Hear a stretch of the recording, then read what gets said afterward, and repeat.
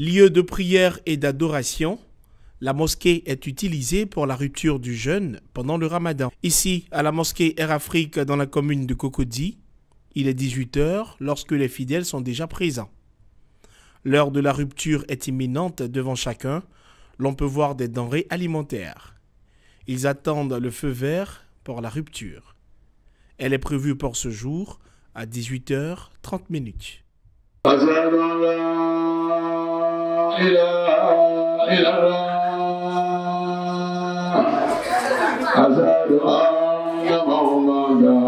Le moment tant attendu est arrivé.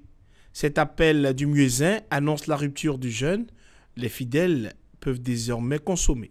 Bon, moi j'ai bu juste un jus et puis bon, ok. Le reste, oh, ce sera peut-être après la prière. Parce que quand je mange trop, il n'arrive pas à observer, il n'arrive pas à faire la prière à l'aise.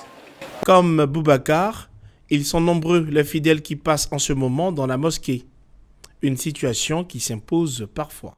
moi, je cherche de passage parce que moi, je suis résident euh, d'Abobo Samake. Et donc, oh, comme je suis dans l'embouteillage, bon, ne pensant pas être à l'heure dans mon quartier habituel, donc j'ai préféré marquer un arrêt, faire la rupture ici à Cocody et puis continuer ma voie. La rupture du jeûne à la mosquée ou en communauté a aussi beaucoup plus de mérite. Donc il faut dire d'abord que comme le mois de Ramadan c'est un mois sacré pour les musulmans, il est important euh, de premier lieu de venir, n'est-ce pas, en quelque sorte, rompre le jeûne en, famille. Ça c'est un premier point qui est très important.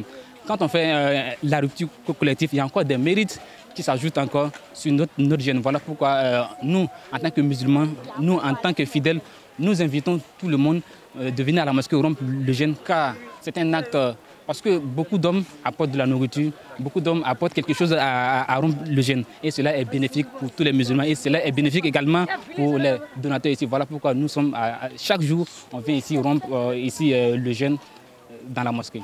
Après la rupture du jeûne, les fidèles font la prière du Maghreb ensemble avant de se séparer.